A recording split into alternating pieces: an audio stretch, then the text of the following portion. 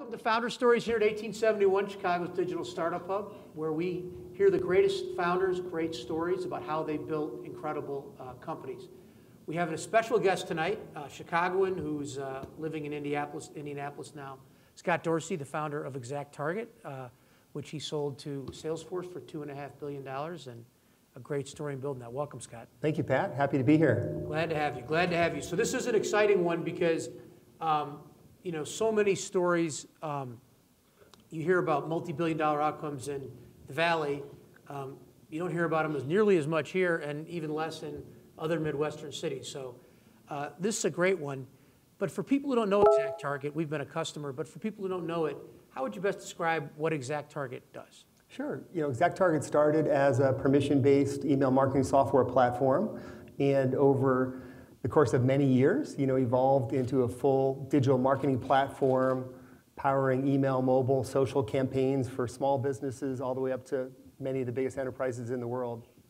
And uh, how, how early was it relative to that, that type of your competitor base? Like where, where, where, where did you start relative to them and uh, you know, how, how, how, how the competitive landscape uh, look like? So for people who would see the competitors today. Sure, we started ExactTarget in early 2001 and our timing was really fortunate. We caught the wave of software as a service and really caught the wave of digital marketing. So we were early, but not too early, which is so important. And I know many of you entrepreneurs, you know, think about timing. I think you want to be out on the early edge where you're kind of evangelizing a new category of software, but you don't, don't want to be too early. And I think we were in a nice position in that we had earlier incumbents that were really serving very large enterprises, but the market for small and medium-sized businesses was really wide open. And it was the, the internet was really just coming of age and organizations and marketers were looking for new ways to leverage the internet to connect with their customers. Well, it's a great, it's a great story. I'm excited to go into it in depth. I enjoyed talking about it before. But before we, take us back to the beginning. So, you know, where did you grow up? Where, where are you from? I know we claim you in Naperville here, but I... Sure, sure. I'm, I'm, super happy to be claimed as a Chicago native. I, I view that as a real plus.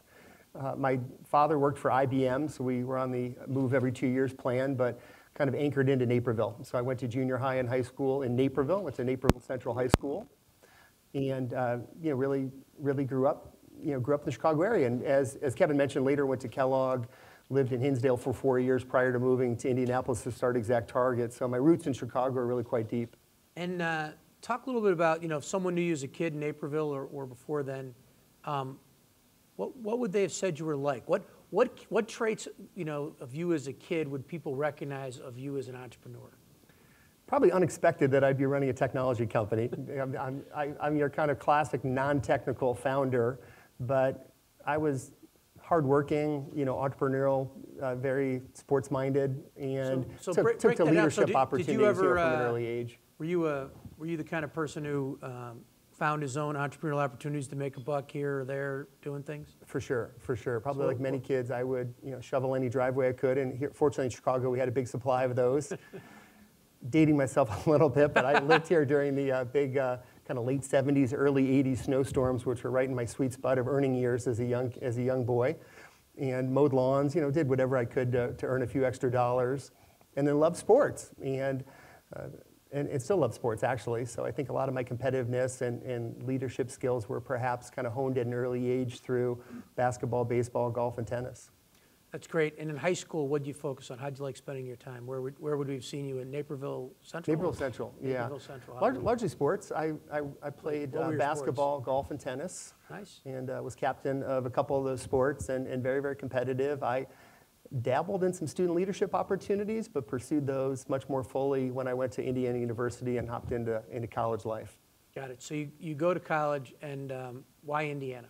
It's a great school, but what, it's auspicious, obviously, because you've now become a Hoosier, but what, what was it about IU that, that drew you there? Yeah, you know, I'm a Midwestern guy, loved the Big Ten Conference, and, and really knew I wanted to study business, so I kind of narrowed the field to Big Ten schools that had an, had an awesome business school and fell in love with Bloomington. For any of you that have been to Bloomington, it's absolutely a gorgeous campus. It's kind of picturesque and, and storybook and has a feel for what college life should be like. So I fell in love with it and, and decided to jump in and go to IU and, and never regretted it.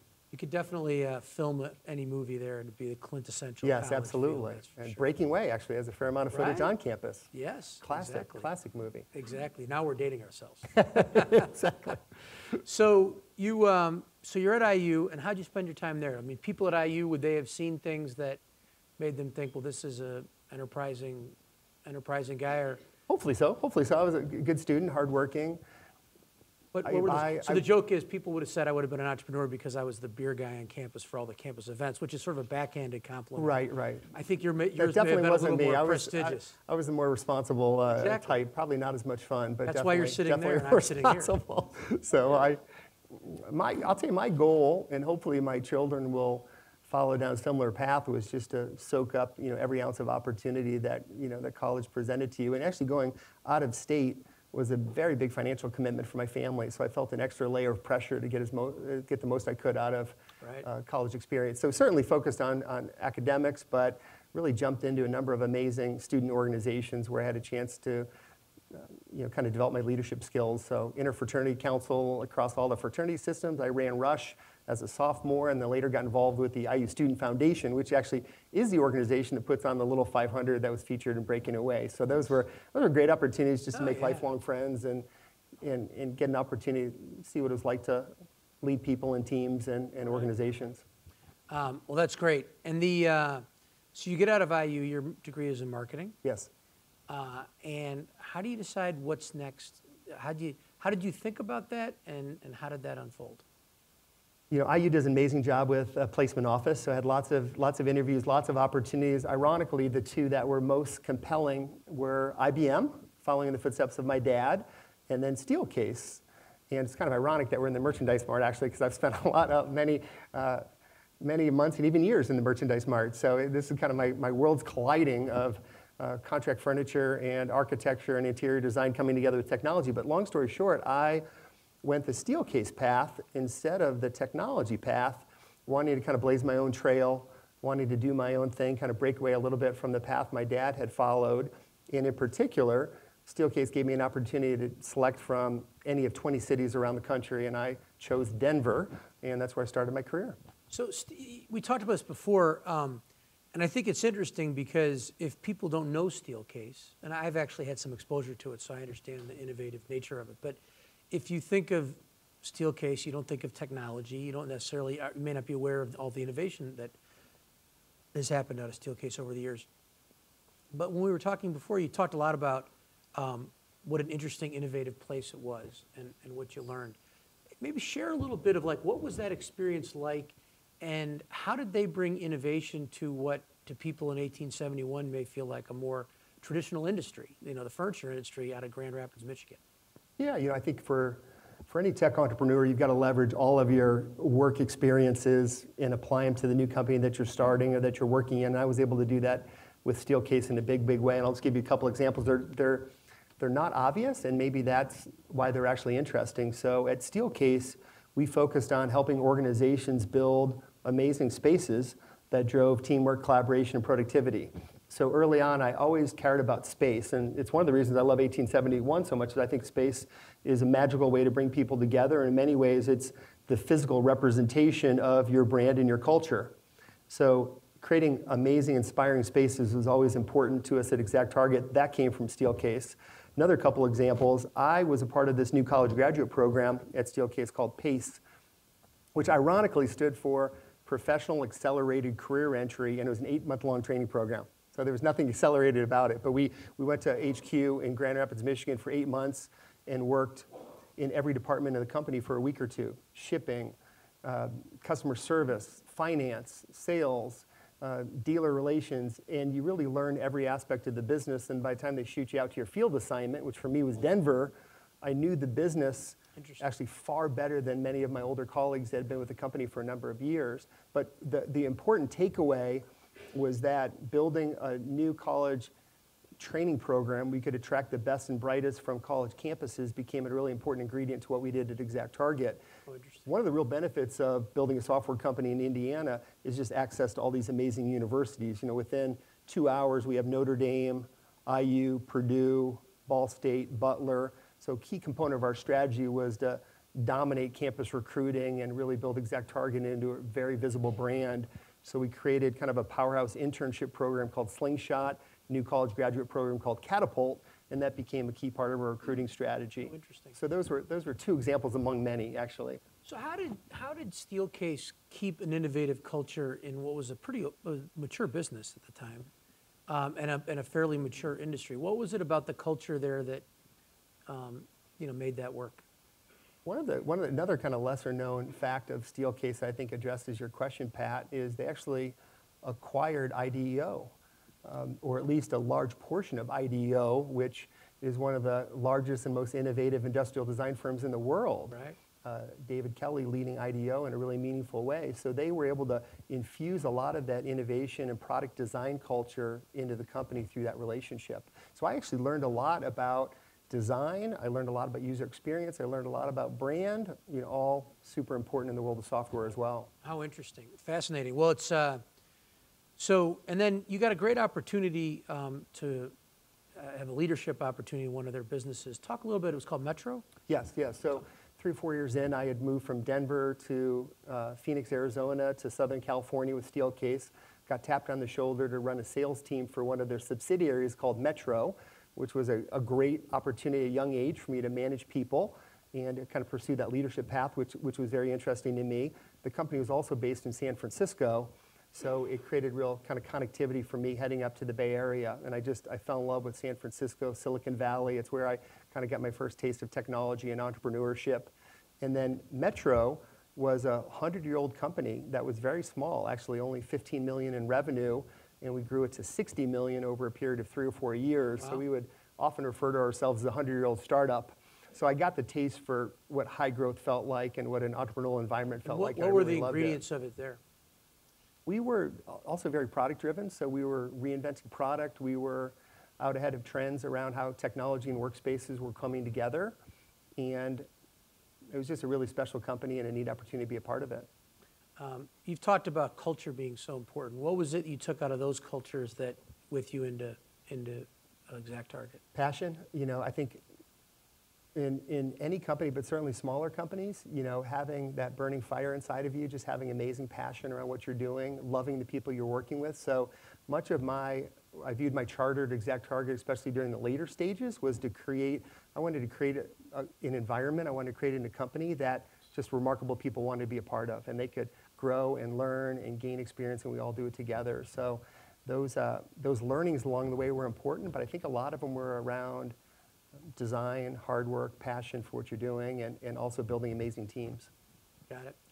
Um, talk, talk a little bit, if you would. You know, you made an interesting move um, uh, at a time when the internet was really cresting, the, the internet 1.0. Um, you decided to go to business school. Why business school? Why then? And, and why Kellogg? Yeah, so having grown up in Chicago, you know, I always, you know, heard a lot about Kellogg, and, and it was a real aspiration of mine uh, to go to Kellogg. And, and University of Chicago would have been amazing as well, but I felt like Kellogg was a very good fit with my values, my work style, and the areas in which I wanted to study. So I was fortunate I was able to convince the team at Metro that I could run sales from anywhere, and why not do it in Chicago? So moved my family back to Chicago, continued to run sales for Metro, but jumped into the TMP program, which was the evening weekend program at Kellogg, and went to business school from 96 to 99, which was this remarkable time to be in school just when internet, you know, 1.0 was coming of age. Right. Um, amazing. And then you can do anything when you leave. You've got lots of opportunities. Um, you chose an interesting one in a kind of famous, maybe somewhat notorious Right. parent company, but it must have been a fascinating experience. You went to Divine in its heyday. What was that like, Divine Interventures, you know, in its heyday? It was wild. So I graduated in the, toward the end of 99 with uh, an emphasis on entrepreneurship and internet business models. So I was, I was ready to go. And you know, half my classmates kind of quit their day jobs and moved out to the valley, and the other half of us quit our day jobs and you know, hopped into, into Chicago Tech. And Chicago Tech at the time was, it was really all divine. I mean, Flip had such a big vision and so, so much momentum that if, if you had a passion for Chicago Tech, Divine was scooping up a lot of talent. Ironically, the president of Divine was a guy named Scott Harkoff who had worked in the Steelcase organization and was actually working on a tech startup in the contract furniture space, of all things. So I felt like it was the perfect intersection of Chicago tech, leveraging my background and gave me a chance to jump into an early stage company. So I joined, I joined in early 2000, and I think I was about employee 250 at Divine, and one of the first employees in our little startup. And you know, the company quickly scaled to over 1,000 employees, and it was extraordinarily roller coaster. You know, kind of all the good and bad that come with it. What but was, I, I, what was the good and what was the bad of something? Because this is really, in some ways, the among the highest excesses of the bubble. Yeah, this was I, this is kind of going back to the history books. I think of Yeah. the, the dot com boom. But I, you know, I stepped into Divine, and it took my breath away around just energy, passion, speed, the number of smart people that were all pouring in. I, I really I'd never seen anything like it, and I, I became fascinated by how to raise venture capital, how to hire, how to build products, how to find early customers. So it was a chance to go from zero to 60 for me with, with not having a technology background very, very quickly. The It's model, You're, you're always a student of the game in all these. It's an mm. interesting pattern. I love it. Mm. I, I, I like to learn, and I think, especially when you jump into a new field, you really have to have a beginner's mind or a learning mindset. Yep. So, so Divine was that. It was this incredible learning experience where the company scaled up at an extraordinary pace, breathtaking pace, and then the dot-com bubble burst, you know, in a, in a dramatic way in spring of 2000. And Divine was really in a difficult position. They needed to raise more capital to keep growing, but the capital markets were really drying up. And the company decided to push out an IPO in July of 2000 and I think it was actually the last IPO, the last tech IPO in the year 2000, and it was a super difficult environment. So I'd always, I'd always imagined in my mind that an IPO would be a day of celebration, you know, champagne and, and balloons, and, Exactly, and yeah. it was, that was definitely not the case. It was, it felt more like a kind of a sign of defeat or maybe a bit of a necessary evil because it was, it was a very difficult environment to push a young company out into the market. Interesting.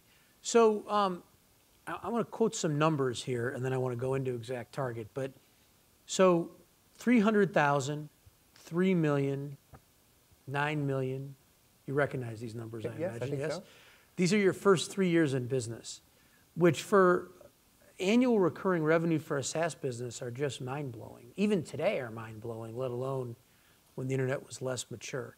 So I'd love to take with that in mind, with everyone here knowing the incredible growth, you know, that you uh, as a company Exact Target achieved in those early years and, and beyond. But you know, often companies, Joe Mansueto talked about, they're, the, they're sort of this legendary two years that people take to kind of figure it out. You guys didn't have that two years. You took off like a rocket almost immediately. So we like to talk about founder market fit here, Okay. um, which is the idea that the experience of the founding team is the right DNA both to build the business, but also to find product market fit. Right. That you have some kind of insight or understanding. So talk a little bit about the idea for Exact Target, the group of you that founded it, and how that DNA and experience to sort of really hit the right, right product for the market at the right time uh, was a part of that. I'd be happy to. It's a fun story, and product market fit is a, a big passion area of mine back at Exact Target, and then now all the young companies that I work with.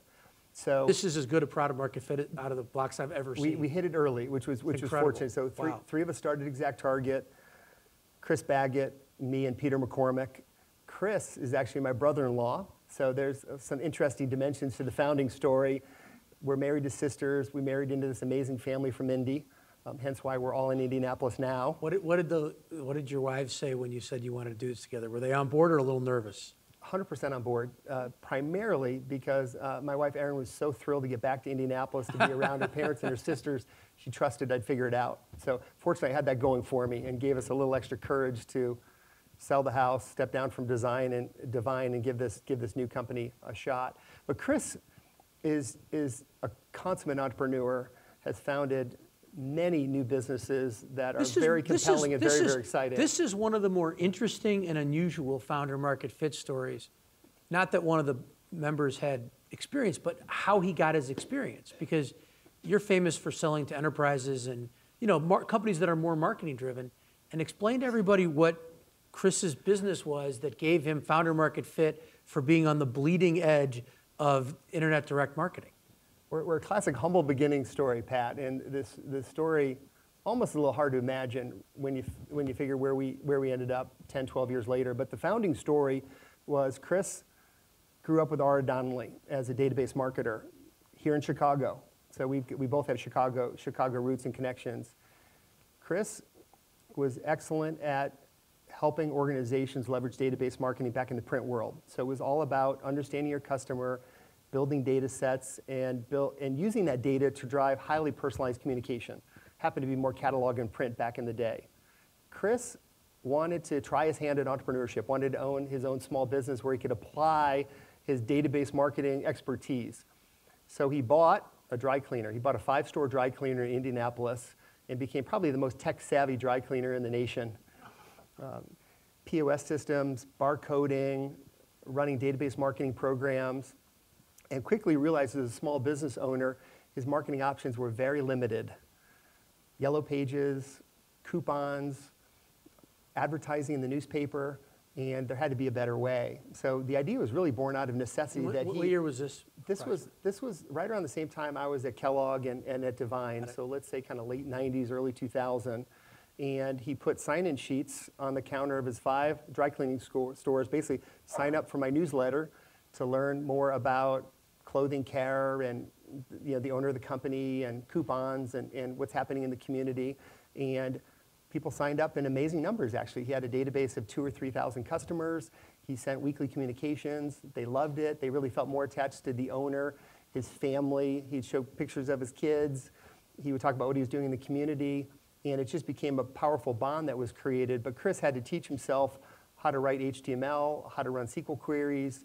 And he also comes from a non technical background. So he came to me and said, There's just got to be a better way. I know that email marketing and internet marketing is going to transform marketing, and all organizations are going to leverage these channels, but we have to make it easier for the small business owner. And I, I felt like I was a prepared mind in going through the Kellogg experience and the Divine experience, that I, I felt like I could identify a winning business model when it kind of hit me over the head. And, and Chris is so persuasive, he hit me over the head a few times to actually get me to do it.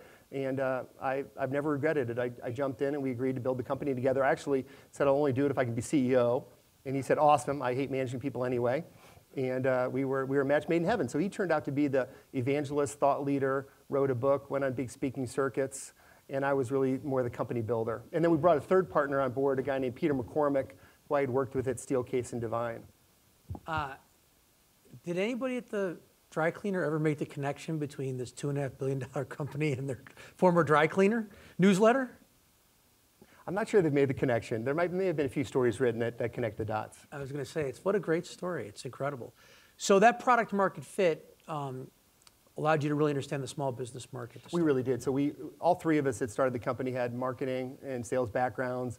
We would refer to ourselves as marketers building product for marketers. And we, we had a very clear idea actually of what we wanted to build. The product was very simple, but it was tools to help you create emails, build a list and manage your database, and then tracking the analytics. And we started with a simple product. Before the, word, the term MVP was in vogue, we basically built an MVP. We built a product that barely worked, but worked enough that we could go out and sell it. And then we really started selling to small businesses, small retail-based businesses, and then later moved up to That- well, franchise scratching- organizations. That scratching your own, there. own itch thing is a, you know, incredibly successful. When I look at our product market fit series, the closer people are to scratching their own itch, the faster they get to product market fit. Now, sometimes products have a lot of surface area to get there or whatever, but it's, it's incredible. Um, that's such a common theme. And the next people who are closest to that are the people who were a consulting firm building it for a customer. Right, right. And then they built it enough of them, and they're like, well, we should do this for ourselves. Um, and they learned it. And so I, I just, it, I give you such credit, but it's incredible the growth you get out of it. But obviously, selling is, you know, never easy. Um, how did you, how did you, you know, how did you do the early entrepreneurial selling? What, how did you decide who to target? How did you learn how to get the pitch right? How did you learn how to get the pricing right, the model right? How, how did, talk about those early uh, problem solving. early on a tremendous amount of founder selling. You know, we really we believed in what we were building, and all three of us had had significant sized networks, I would say, of you know either people we went to college with or had, had been out in the workforce with, and we we literally leveraged our network to the fullest. And we, we felt like we were building a product that almost any organization could take advantage of. So our network became very impactful. And we started with friends. You know, we really did. We sold to any friend or colleague, you know, that would give us a few minutes. Uh, the three of us were very, very active in selling, which was wonderful because the feedback loop back into the product was extraordinarily tight. We were selling, working with customers, and then feeding that right back to our product group, and we just kept evolving and iterating, you know, very, very quickly. We also took advantage of that point in time when most of our friends who were working for highflying.coms were now unemployed. And no exaggeration, we just hired as many as we could as independent sales agents. We, we couldn't pay them, we couldn't provide benefits, so we, we agreed to pay them a 25, literally 25% commission on anything they'd sell. and gave them stock options and said, come with us on the journey. And when we raised a little bit of angel capital, then we hired all of them, but we had an enormous sales team. We had a very large sales team early because of just taking advantage of kind of our friends and colleagues looking for their next, their next opportunity. Talk about how you make that work, though, because you make it sound easy, but at the end of the day, a lot of companies I think have a hard time going from founder selling to getting sort of professional or non-founder salespeople to be effective. How did you, how did you, how, how did you crack that nut? How did you make that work? Our, you know, our funding path, which we'll probably talk about, was a little bit of friends and family and then a little bit of angel. And we brought the little bit of angel on board our lead investor was a guy named Bob Compton, who became chairman and a, a true mentor to me. And he always kind of forced me to hire three reps at a time to make sure that we were bringing classes of reps on board where we could train them, onboard them, enable them all at the same time so we gained efficiency. And then we'd learn by how effective they were selling into the marketplace. And he really didn't want us to get a false positive or negative that comes from one or two reps. So we would always hire kind of a class of three and we just kept bringing on And is another that model, three and another do you three. recommend that model I to still do today. I think it works. I think you have to be careful with only one or two reps. so You can get a false positive or negative because really what you're trying to do in the early days is learn, see if you have product market fit, learn a lot about pricing and packaging and positioning in the market. It's funny, we have, uh, um, we brought on some, three young people to sell in one of our businesses, and there were two experienced people, and this one guy was a sales development rep, young guy, super energetic, and um, he, uh, he's, you know, he hungry, but raw, I mean, like painfully raw in terms of his, um, and it was amazing. He brought the class in, everybody said who they're gonna make it, like, he's, he's more of a appointment getter, we'll, we'll leave him there, we'll give him a chance. And uh, I've been out of the business a little while, and I came back last uh, meet, board meeting, and he beat all the experienced Yeah, right. guys. How about that? He's going to sell about two and two, two and two, two and a half million dollars, and you know, it's just if you didn't, if you tried to over-engineer it to be like, well, I'm going to identify up front who's Right, going to make it. You might not have picked him Very hard to because he was so raw. Very but- hard to do. But he's not just right. beating his class; he's now beating the guys that were the you know big guns who were brought in, and, and it's uh, uh, it's good advice because I think there is a tendency to, um, you know, be like, okay, we'll hire somebody, we'll train them, and I, I- you know, that that's a hard nut to crack for people.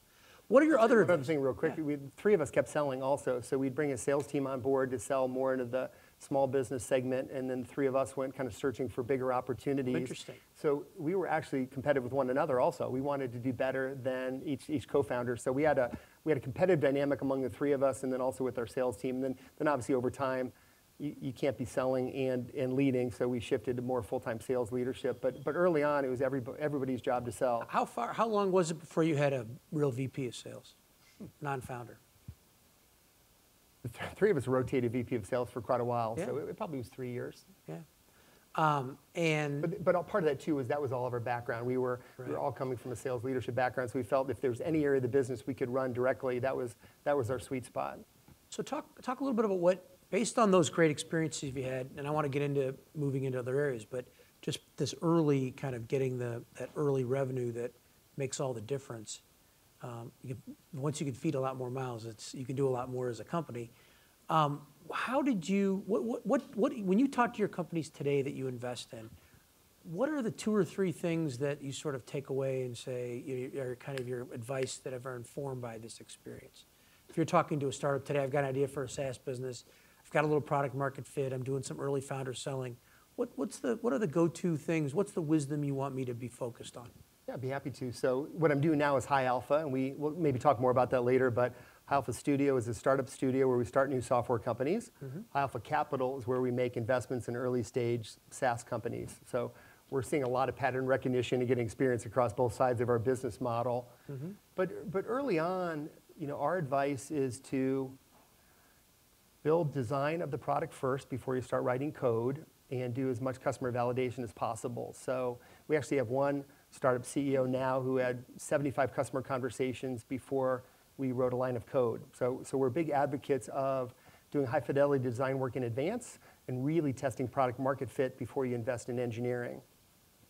And also trying to keep that MVP tight, you know, a compelling value proposition, but kind of tight boundaries on the functionality. You know, the smallest footprint in which you can deliver meaningful value, I think is, is really, really important. I think and, we, and, then we, and then we try to get the product in the hands of as many customers as we can just to make sure that we're not trying to, we're not trying to dream what should be built in the product ourselves, but it's always customer informed. That, that customer intimacy is so important. And sometimes when you're slow to take off, you're slow to get customer adoption, maybe you're trying to hold the line on pricing, you can find yourself pretty far down the path where you're building a lot of features into the platform that aren't informed by the customer. And that can be a dangerous place to be. Well, I'll give you a great example. I met with a team yesterday who was, um, they've got an outsourced engineering team helping build the product. And um, these people come with a great resume and they're smart people, but they got in this room and said, now just imagine, how would we want this to go? Forget about the customer, just imagine, just imagine. And I thought, I can imagine you're not going to sell it to anybody. right, right.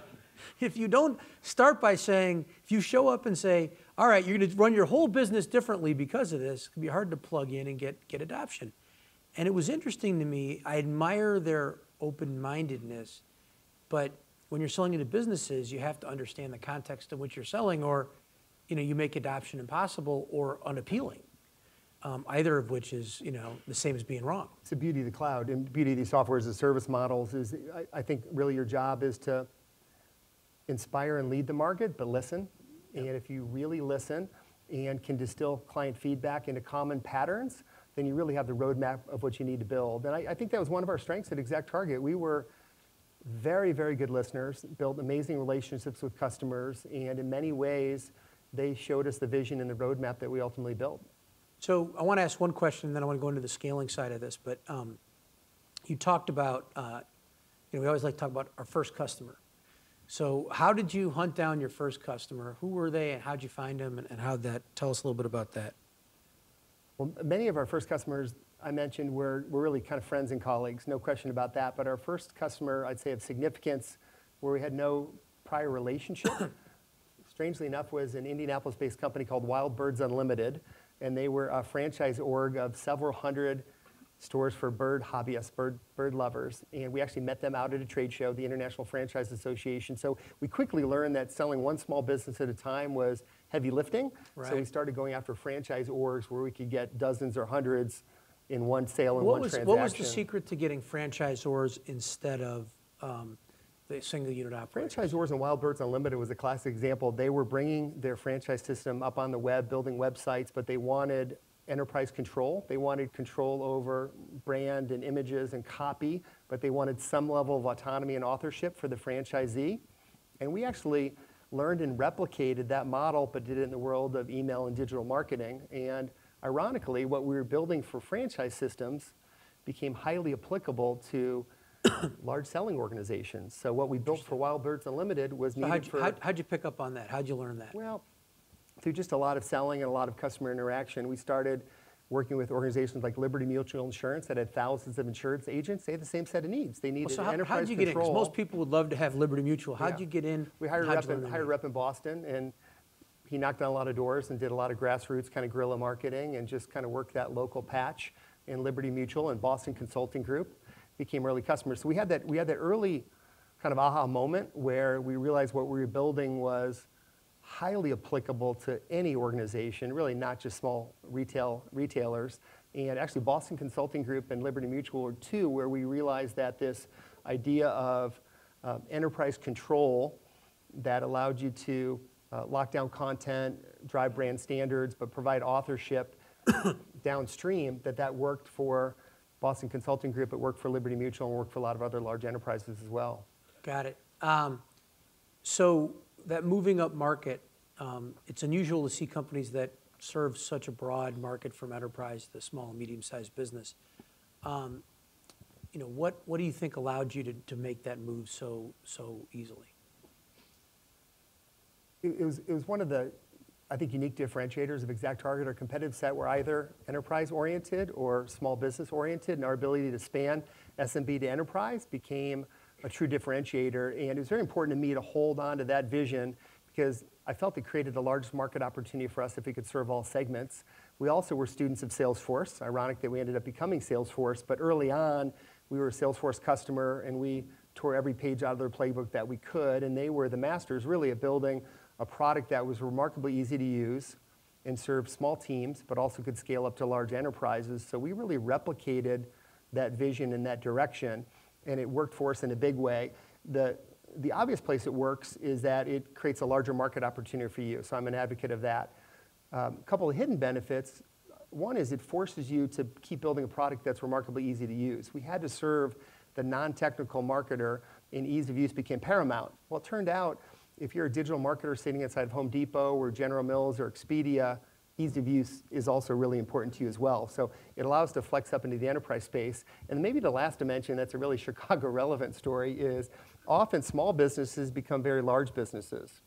So one day I got a phone call from our inside sales team saying that uh, we closed a very small account over the phone, but they were starting to send more email volume, and we thought they might have some enterprise opportunity. And it turns out that was Groupon. so, true story. Groupon came in uh, through a phone call, inside sales team, very small transaction, early, early, just when Groupon was getting started. And then, you know, later, Brad Keywell called me to introduce himself and said, "I will be your largest customer." And I said, boy, that'd be fantastic if that's the case. Tell me more about Groupon. And we, you know, we had Microsoft and Expedia and Fidelity and Bank of America and Groupon probably wasn't in our top 100. And Brad, uh, for any of you know that Brad had a very big vision and a lot of confidence and conviction around that vision. And long story short, they became our biggest customer. yeah, isn't that amazing? I, I, found Brad's predictions to be remarkably prescient. he was so spot on. I don't bet I was, against I was Brad. glad I listened to him. I don't bet against him. him. I may not always understand him when he yes, says yes, them, but I, uh, I never bet against him. But what an amazing example of if we weren't serving the small business segment, we would have never found Groupon, they would have never found us, and they wouldn't have grown into such a, such a big success. Interesting, fascinating. So talk for a minute um, about raising money. You bootstrapped, so you have this story of you bootstrapped, and then you, have, you end at this $2.5 billion sale to Salesforce. But take us on that part of the journey. Obviously, having grown such sales, you obviously were, um, what we see in a lot of successful Midwest um, SaaS startups is them being revenue first. Um, I think it seems very hard it's possible, but not nearly as easy as in the Valley to uh, run a high burn SaaS company here.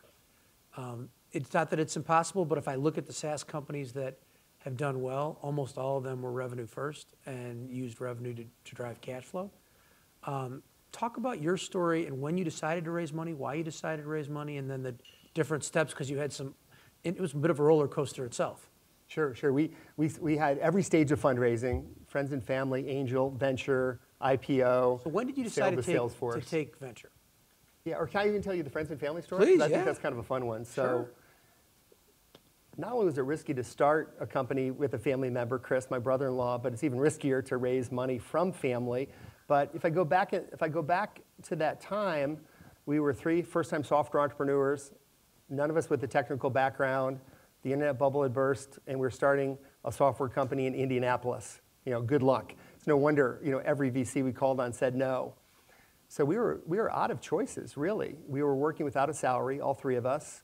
We were selling, but we needed some capital to get up and running. And we raised 200,000 in friends and family. And we also did a lot of barter for services. Our first development firm worked for equity. We had a marketing PR agency work for equity. That turned out pretty good for both those say. shops. Uh, but we were, we were terrified, actually, that we would lose our family's money. So we encouraged them to put as little in as possible. And we scooped up a lot of five and $10,000 checks from you know, my parents, my brother, my in-laws, a lot of Chris's neighbors. Probably, probably pretty popular it, at the Thanksgiving table. It, it, it, worked out okay. It worked out okay for everybody. So we started with the 200,000, and then later I mentioned gentleman Bob Compton that really led our angel round and, and really helped us you know, formalize the company and kind of grow up and start scaling and learning from him. So we did, we raised about a million and a half in angel. And then our, our Series A was a firm out of New York called Insight Venture Partners where we raised 10 and a half. But interestingly enough, only four of it came into the company as primary. Six and a half went back out to secondary for founder and early shareholder liquidity to give us some level of financial security so that we weren't tempted to sell the business too soon. And, and I look back on that as, um, I think, a, a- a really smart move for Insight, but also a move that worked incredibly well for us as a company because we were able, you know, after three or four years of bootstrapping, like really, really bootstrapping, and having young families and being very uh, scared about our financial future, we were able to take enough money off the table to give our families more comfort and more financial security, and then really reach for the stars and get aggressive and dream big. And that, that's what we did from that point forward. I think that's for the right people. It's a great, it's a great point and a very powerful one. The way, my favorite one is that um, there's a company out in the West Northwest, Pacific Northwest, you may have heard of, where the founders' parents put in not quite their life savings, but their pretty active savings. Um, and uh, it worked out okay. It was Jeff Bezos' parents. So little known fact, Nice. Jeff Bezos' parents could end up on the Forbes list if they ever broke it out of Jeff's ownership. But yeah, it's, uh, not too shabby. It's good. he doesn't have to buy him a house, that's for sure. I'm sure he takes care of them well, but he doesn't, they don't actually need it. It's, uh, so it's nice to see when those kind of great another part of our funding story I'll share. So we, we went friends and family, angel, Series A, and then we actually filed to go public in late '07. And at that time, we'd only raised six million in venture, six million in primary, and we still had four and a half on the balance sheet. We were 48 million in GAAP revenue, heading to 72 million. And the market was very receptive to smaller, earlier stage SaaS companies going public. And we really felt as we were starting to shift to the enterprise, had big ambitions around international expansion, expanding beyond email into other forms of digital, that going public would give us the right platform to really carry that message and capitalize the business. Not all that different than when we started the company. Early 08, recession hits, stock market, IPO window completely closes, and we were actually stuck. We were not able, we were not able to go public. And I, I've often described it as having all the, all the burden and expense of being a public company with none of the benefit. So hmm. we thought we just wait it out. I, the last thing I wanted to do was pull, pull an IPO. I viewed that as a real sign of defeat.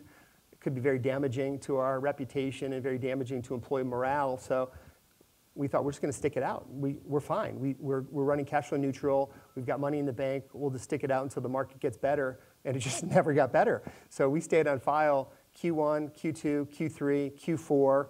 And little ExactTarget from Indianapolis was not going to be the first software tech company to you know, break the IPO market back open again. It just wasn't going to happen. So at that time, late stage tech venture firms started calling and really convinced us that staying private, um, really doubling down on the business, like investing at a much you think- faster clip than we had before was the right valuation would have strategy. been? What do you think the valuation would have been had you gone public? What's your ballpark sense? I, I think we had our eyes on probably about a half a billion dollar valuation, but I'm not sure, I'm not sure we would have gotten that in the market. And then also, we really would run the risk of not being able to invest in the business at the pace we ultimately did as a private company. What I did learn from being on file was that almost regardless of where you start from a margin perspective, Wall Street wants to see margin improvement, wants to see margin expansion.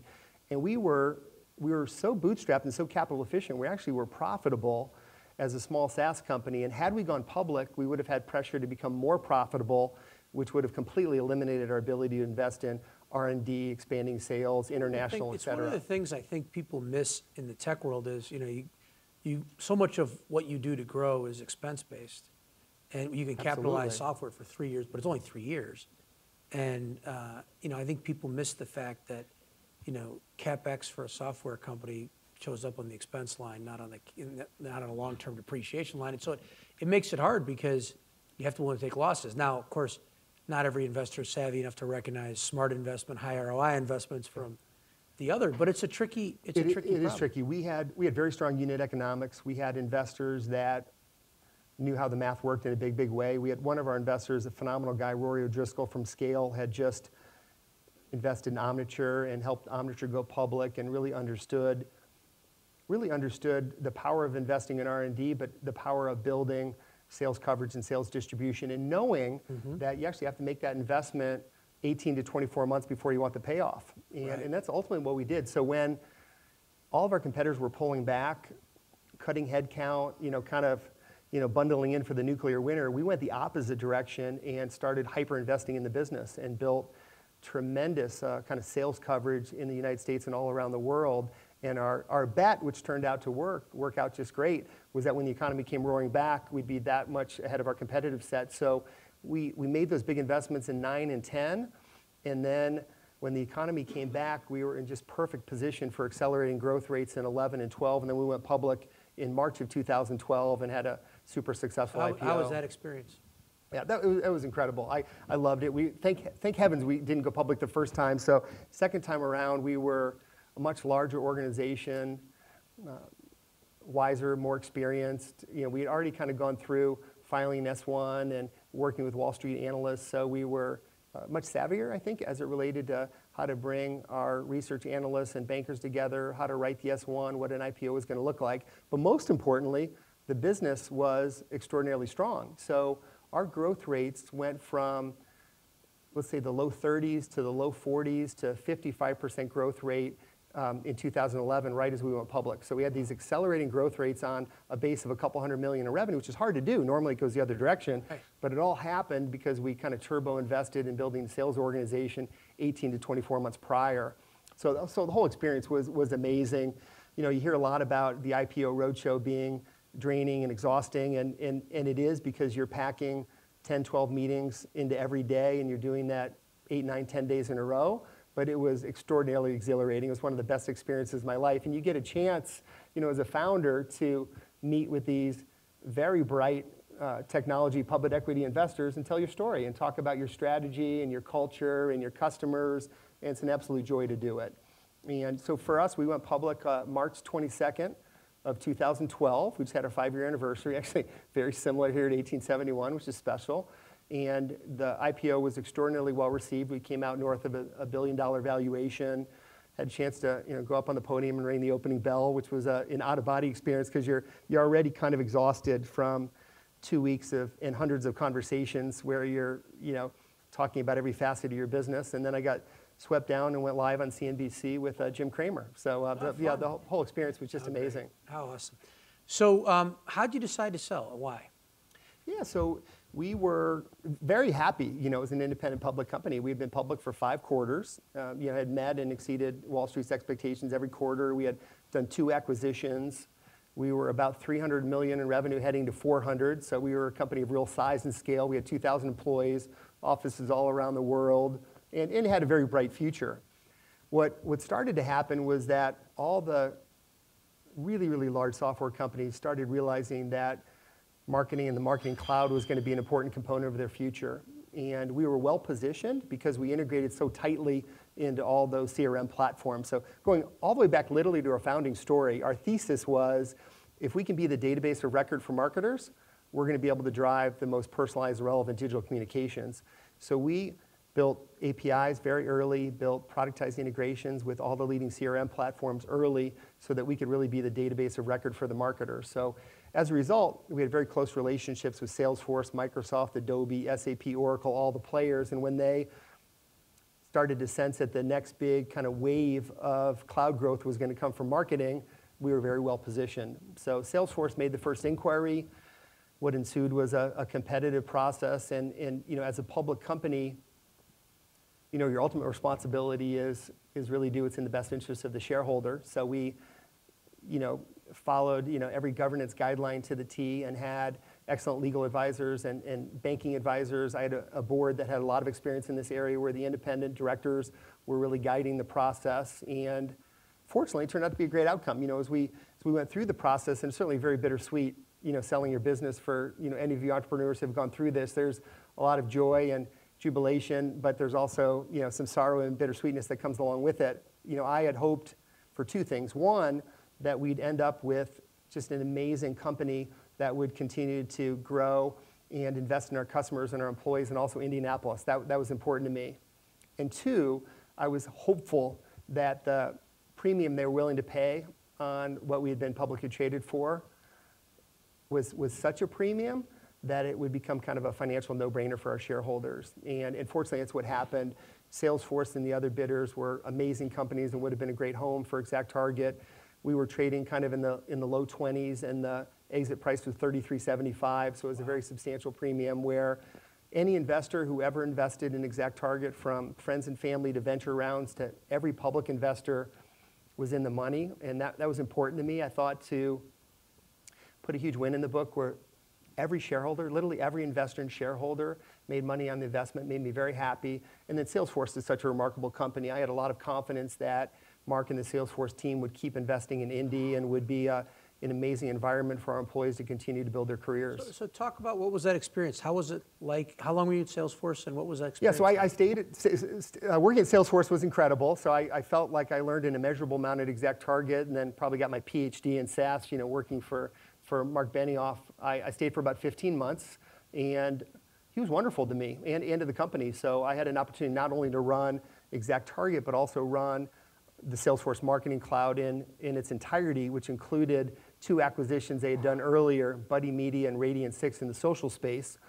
And, and that worked out so well for us because Salesforce had made a big move into social marketing, but their customers were really saying, we want more, and we want a multi-channel platform, and we want a marketing database of record. And the needs that customers were expressing to Salesforce were an amazing fit with the platform and the company that we had built. So it, really was a great marriage. But I, I had a chance to be a part of uh, you know, Marc's executive team for 15 months, run the marketing cloud, lead the integration. So it was, it was, it was, it was an incredible learning experience for me.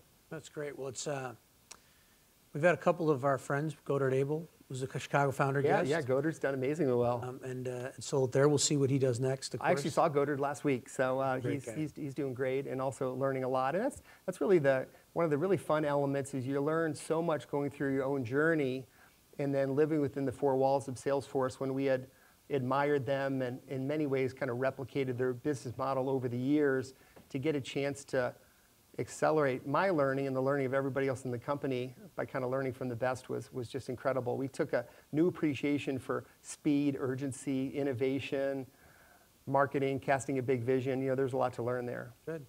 So uh, going to the questions from the audience here, what's your number one vote getter? What's your greatest challenge starting a new company?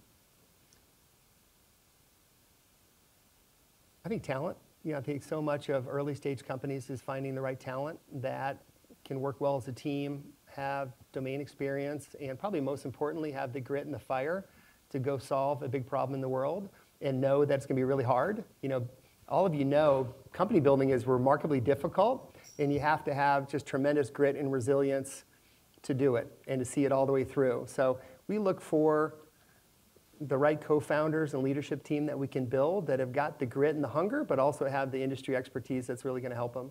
Got it. Um,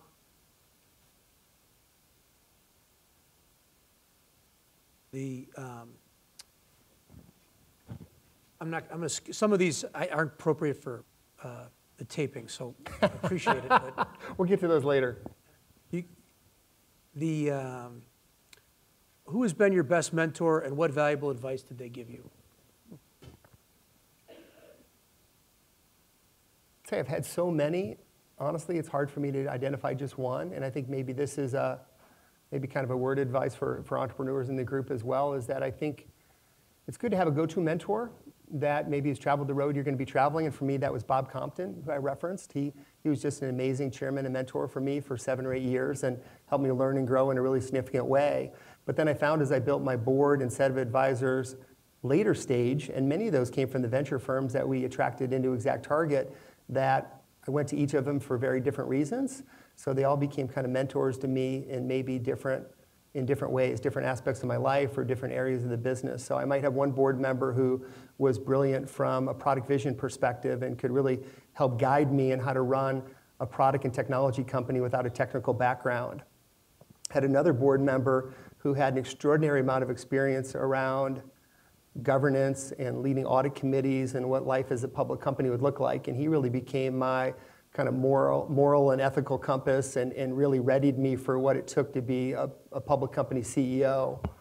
Um, I had a, an, another board member who was just brilliant on the go-to-marketing side and helped us build all of our economic models around how to scale a sales organization. So it became a lot of mentor relationships that all helped me in different ways. And I think that's one of the keys actually is you build your investor roster and build your board roster is to find advisors that are different and unique and very complementary to one another and can help you in really different ways.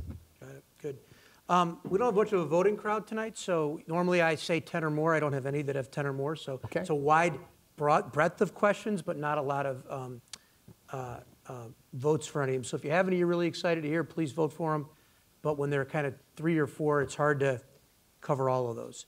Um, a couple questions we always ask our founders that um, always end up being very popular online uh, is if you were to, to be a founder again, is there something you would never do again? Like a mistake you've made or almost made or uh, made and corrected that you say, boy, definitely do, do something different the next time? that's, a, that's a great question. Things that worked out so well for us the first time that uh, yeah, I've, I've got to, I've got to, yeah, I wouldn't, I wouldn't want to, I wouldn't want to do it that much differently. But I think second time, now that I'm older, wiser, more experienced, I would,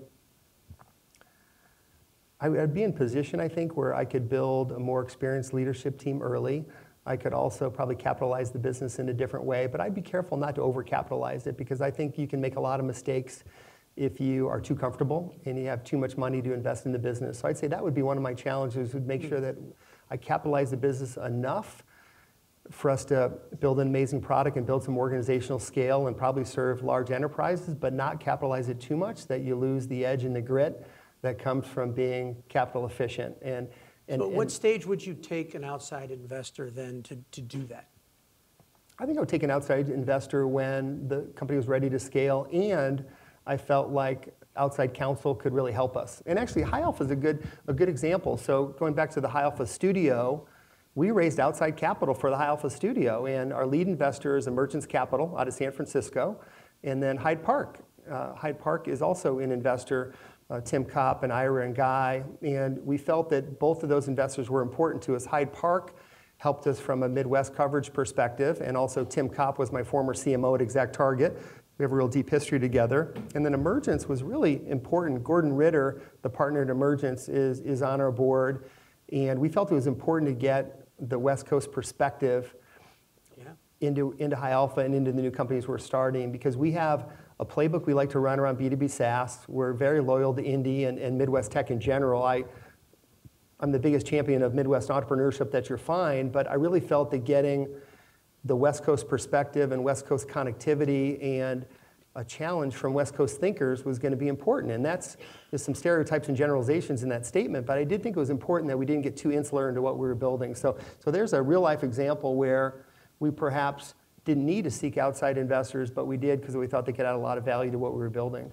We'll talk a little bit more as we before we wrap up here about High Alpha. And you have a studio. A lot of people may not know what a studio uh, startup studio is, and then you have the fund. First, what's the, what is your studio and how does the studio work? And then why the fund and how, what's the role of the fund with and separate from the yeah, thank you. So we think we're pioneering a really unique model. It's certainly a model that's really appropriate for Indianapolis and I think for Midwest cities in general, where we're, we're pairing together company formation and startup studio with venture capital and doing it in a really unique way. So we're focused on next generation enterprise cloud companies. So we're focused on those B2B SaaS companies that we know so well but we're one part company starter and company builder, and that's fascinating. We have 20 of us on staff, designers, developers, business analysts, SaaS subject matter experts, where we are always searching for new ideas. We're nurturing our own ideas.